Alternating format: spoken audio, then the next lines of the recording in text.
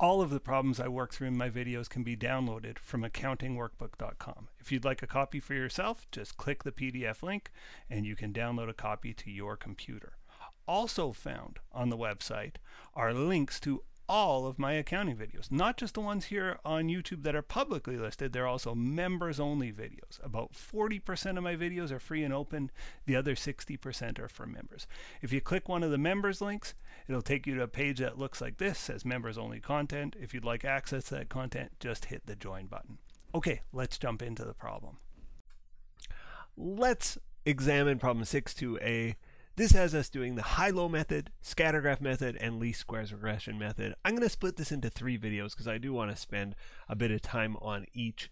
Remember the goal here, right? We have cost data. It doesn't always beautifully fit the shape of a line. We might have curved costs or just, it doesn't always behave exactly like a line would. And we're saying, what if it was a line? If we could use a line to reasonably estimate this cost, we can do some powerful things that we're going to learn about in the next chapter. It's called uh, break even analysis or CVP, cost volume profit analysis. This chapter is about massaging our data to get it ready to do break even analysis or CVP analysis. So we'll start with the high low method. So here we have this example. Danny Office Supplies shows the following data related to shipping costs for the first six months of the year.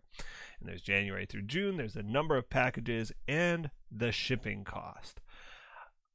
Uh, the question asks, using the high-low method, estimate the cost formula for this scenario.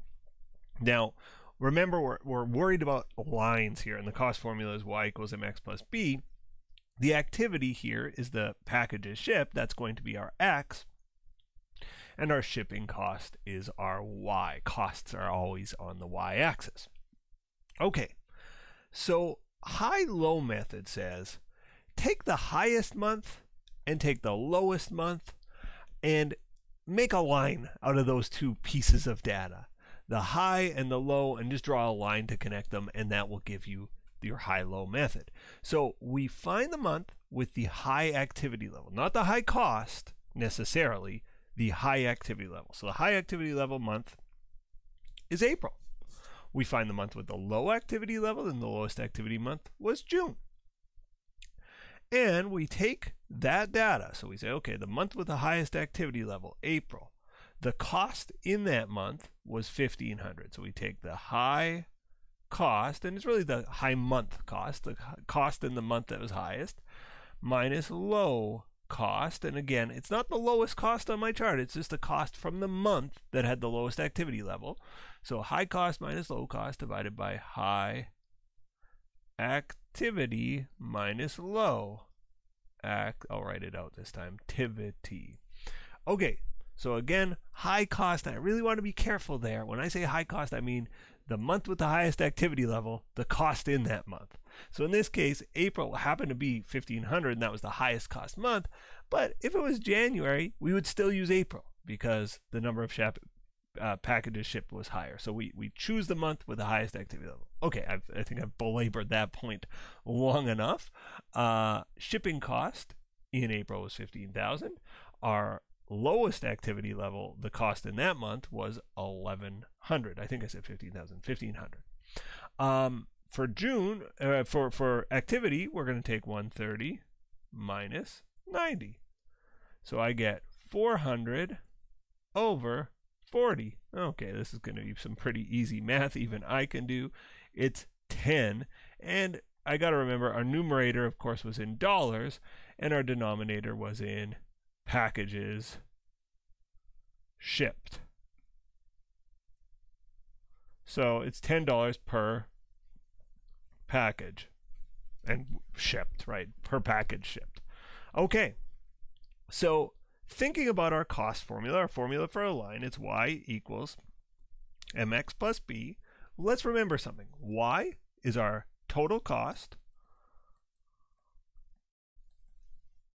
M is our cost per unit. X is the number of units, the activity level, I should say. I, I, number of units is often the activity level, so it's like in this case the number of packages, but I'll I'll use the word activity level. And B is our fixed cost. So what have we computed here? We've computed $10 per package. This is my cost per unit. This is, if we're using the traditional line metrics, this is the slope. We've just done a rise over run calculation, if that's ringing any bells for you back in the old math days. So we've computed our slope as 10. So we know y equals 10x plus b.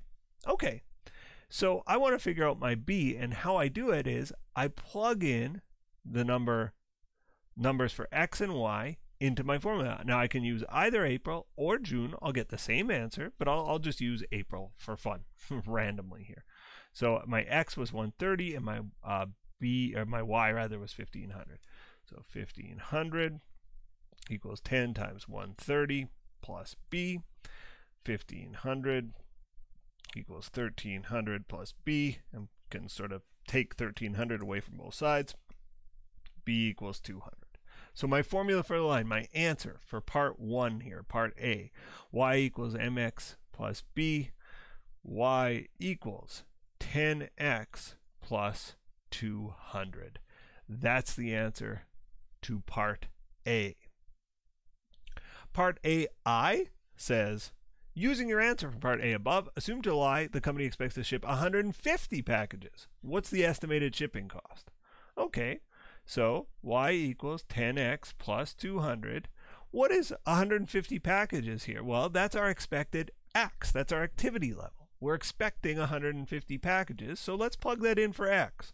y equals 10 times 150 plus 200. Let's do the math. y equals 1500 plus 200. y equals $1,700. So our expected cost for shipping in the next month. If we're planning to ship 150 packages, we should budget for $1,700 to be the cost to ship those packages. Okay, that's it for the high-low method. In the next video, we will explore the scatter graph method. Stay tuned.